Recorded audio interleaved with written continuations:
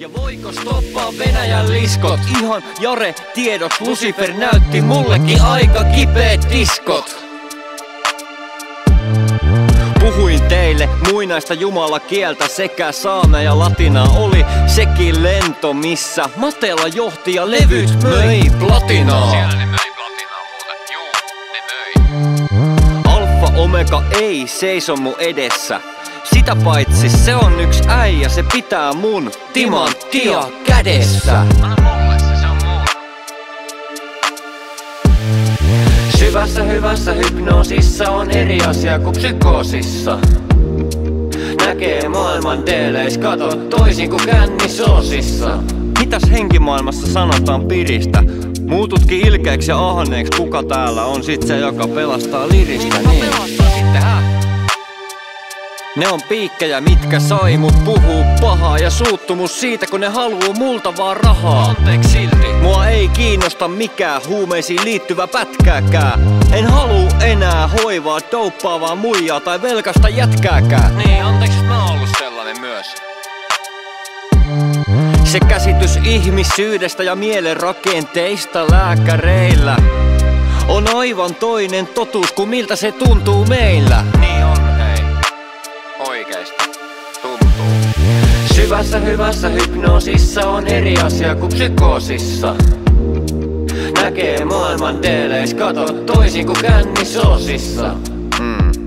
Rahallisesti en pelasta enkä myy sulle huumeita. Ja voiko stoppaa Venäjän liskot? Ihan Jare tiedoks Lucifer näytti mullekin aika kipeet diskot. Puhuin teille muinaista jumala kieltä sekä saame ja latina oli sekin lento, missä Matela johti ja levyt möi platinaa. Siellä ne möi platinaa muuten, juu, ne möi. Alfa Omega ei seiso mun edessä. Sitä paitsi se on yks äijä, se pitää mun timanttia kädessä.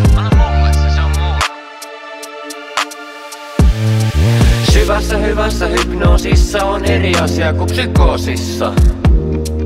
Näkee maailman deeleis, kato toisin kuin kännisoosissa. Mitäs henkimaailmassa sanotaan piristä? Muututkin ilkeäksi ja ahneeksi, kuka täällä on sit se, joka pelastaa liristä niin. Sitten?